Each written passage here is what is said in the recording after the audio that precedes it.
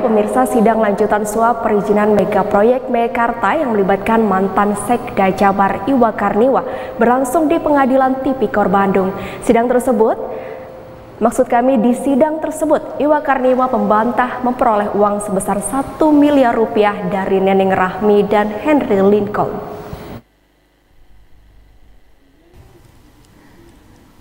Mantan Sekda Jawa Barat Iwa Karniwa kembali menjalani sidang lanjutan di Pengadilan Tipikor Bandung. Dalam sidang kali ini Iwa Karniwa menjalani sidang pemeriksaan terdakwa. Dalam agenda sidang, Iwa membantah telah menerima uang sebesar 1 miliar rupiah dari Neneng Rahmi dan Henry Lincoln.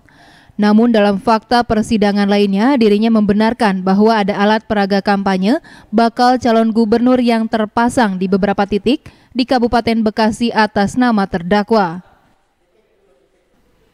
Selain itu terdakwa merasa tidak bersalah sama sekali dengan kasus suap perizinan RDTR Kabupaten Bekasi yang akan membangun mega proyek Meikarta.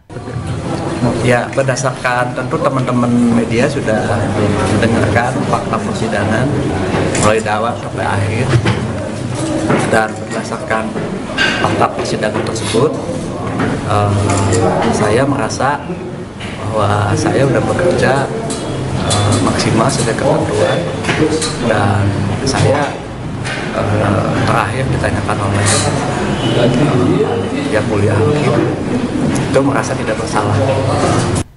Seperti diketahui sebelumnya Iwa Karniwa menjadi terdakwa berkat hasil pengembangan kasus OTT suap terhadap mantan Bupati Bekasi, Neneng Hasanah Yasin. Iwa didakwa menerima uang sebesar 900 juta rupiah untuk mengurus raperda rencana detail tata ruang Kabupaten Bekasi terkait mega proyek Meikarta. Yuwana Kurniawan, Bandung TV.